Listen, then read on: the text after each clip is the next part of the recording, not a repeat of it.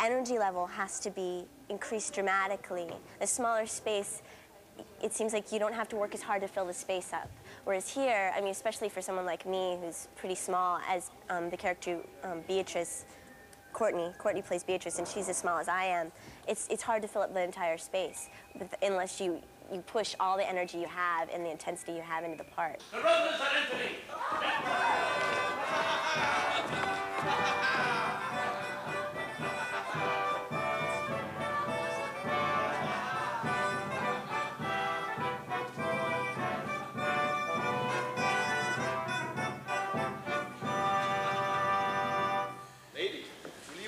You walk about with your friend?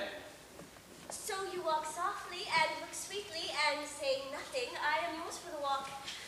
And especially when I walk away. With me in your company? I may say so when I please. And when please you to say so?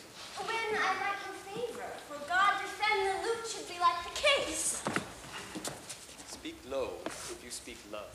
Wouldn't you like me? So would not I for your own sake, for I have many ill qualities. Oh, which is one? I say my prayers aloud. I will love you the better.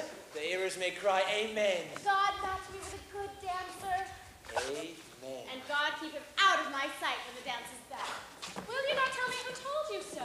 No, Nor will you not tell me who you are? not now.